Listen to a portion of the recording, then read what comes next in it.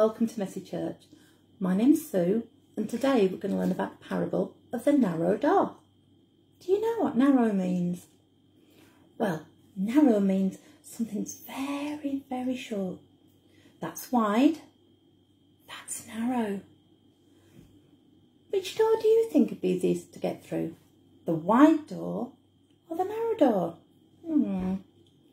I think the wide door would be easier to get through. But what if on the side, the other side of the narrow door, was something you really wanted? It could be the seaside. It could be a toy you wanted.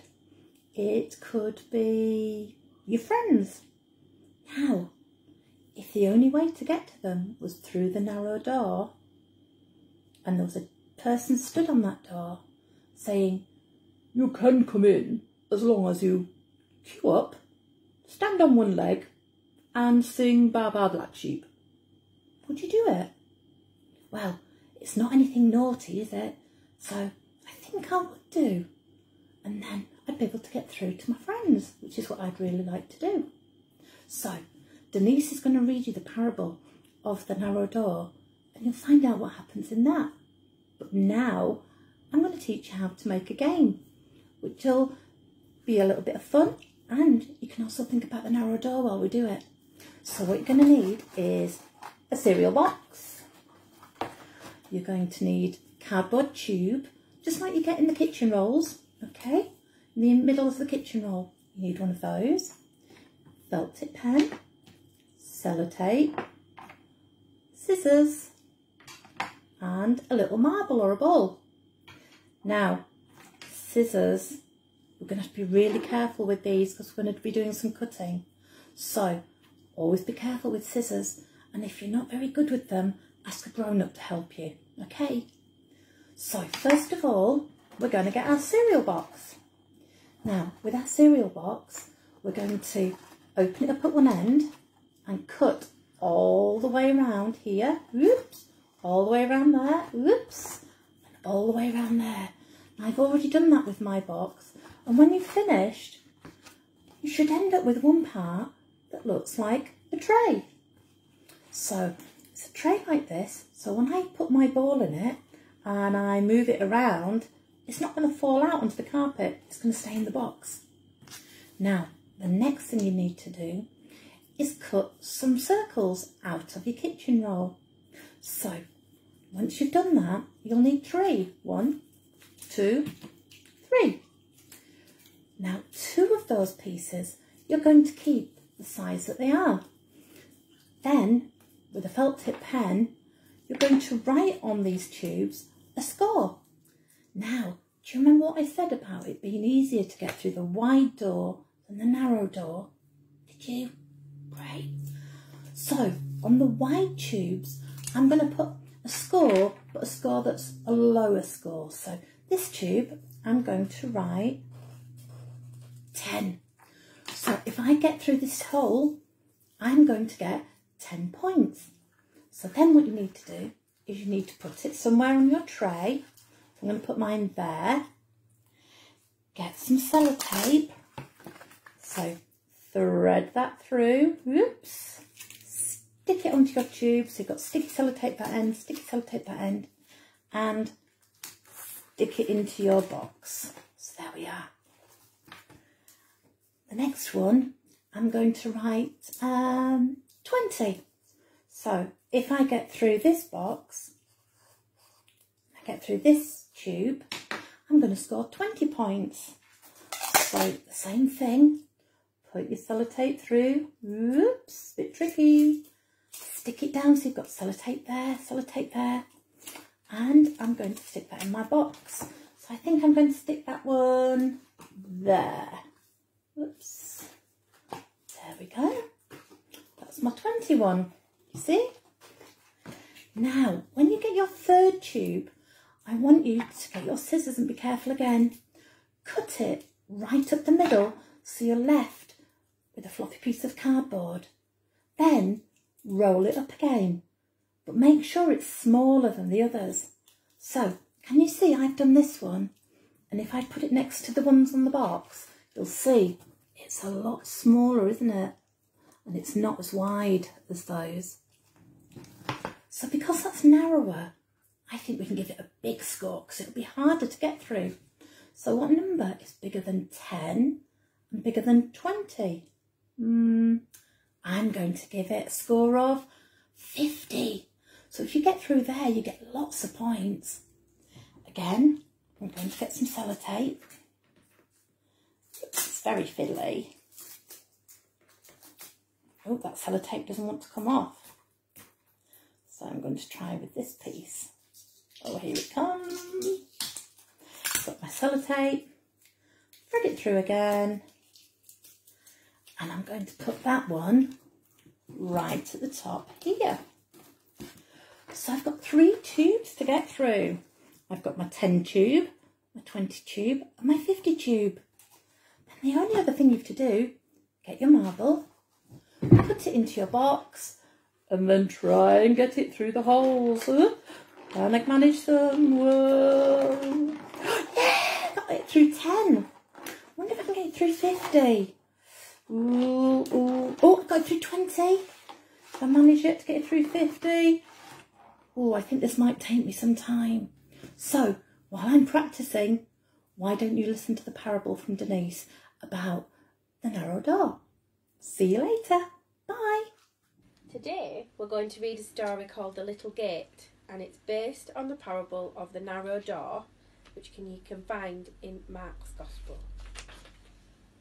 Here is a wall which surrounds a town. In the wall is a little gate. It has a funny name.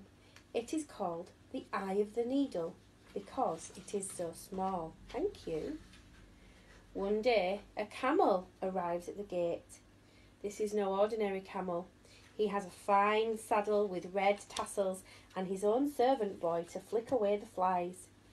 He is loaded high with carpets to sell in the market. Turn it over. Make way, he says. I'm coming through. But he isn't coming through at all. He can't get through the hole. He's too big. Can you see the camel? Yeah. Yeah. Try wriggling through backwards, says the boy. And he shows the camel how. Look, going backwards. Oh, Rufus has had enough. Camels never wriggle, says the camel. But just the same, he turns around and pushes his bottom into the hole. That one, that one. He heaves and pushes. He even wriggles, but it is no good. He cannot get through the gate. I'll unload you, says the boy. He unties the ropes and takes off all the carpets. Now try again. Do you think he's going to get through this time? Oh no. It is no use. The camel still cannot squeeze through the gate. Your saddle, oh dear, that's too many. Your saddle keeps getting stuck, says the boy. You will have to let me take it off. Again. Without his fine saddle, the camel does not look proud and, and important anymore. He is just an ordinary camel. Can you see him? Once more the camel tries, down on his knees, shuffling forward, inch by inch, until finally, hooray! He is through. Jesus says, It is very hard for a rich man to get into heaven. It is easier for a camel to get through the eye of a needle. Hi, it's Laura here with two helpers.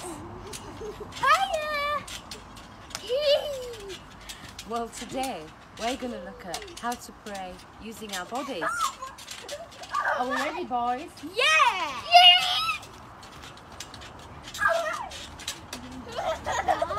I take a really breath. We are. We're going to start, as Elliot said, by taking three deep breaths. Are you ready? You need to stand still then. Okay, okay. That's it. Are you ready? Go on, boys.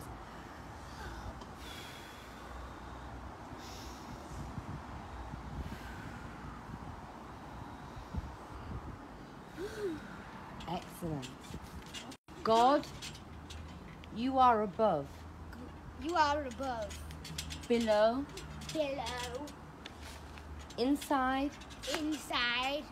and all around. And all around. I worship you. I worship you. I give my life to you. I give my life to you. And I love you I love you. with all that I am. Oh, yes I am. And that was really short, and it only took a couple of moments, so I think we can do it again. Ready? Are we ready? Yay! Stand still. What's how we do when you stand? God, you are above, You are above. below, Below. inside, Inside. and Inside. all around. And all around. I worship you. We worship you. Oh, we give our lives to you. We give our lives to you. and we love you And we love you. with all that we are. I didn't do oh. it. That we And what do we do at the end, Ralph? Do you remember what we say? are. Amen. Amen. Good boys. What does amen mean? We'll see you next time, folks. And we'll now go and enjoy a little song. Bye. Bye.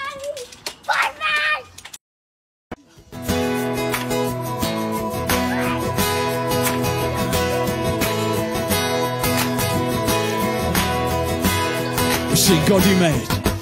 God, you made a big blue sky. You made the oceans deep and wide. God, you made the trees so tall. Your love is bigger than it all. We sing that God, you're bigger than big and stronger than strong. You are mightier than mighty and louder than this song. Your love for me stretches farther than far. And I can't imagine just how big you are, just how big you are.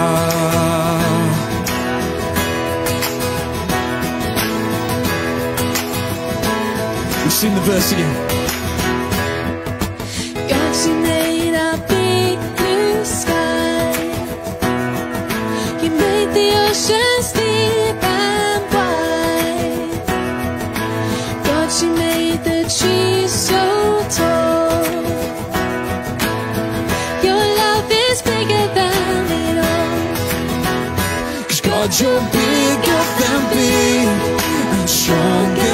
Strong. You are mightier than mighty and louder than this song. Your love for me stretches farther than far. I can't imagine just how big you are, just how big you are. Oh. I can't imagine. We sing that chorus again.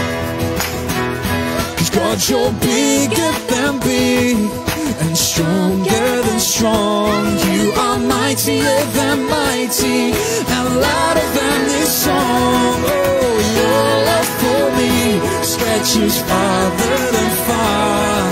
And I can't imagine just how big you are, just how big you are.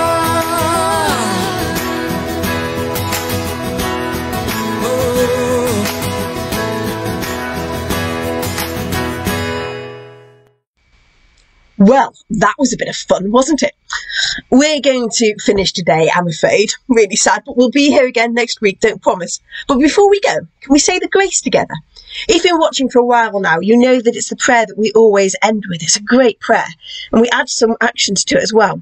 If you want to know the words, they're down here at the bottom, and if you want to follow the actions, just do, you'll pick it up pretty quickly.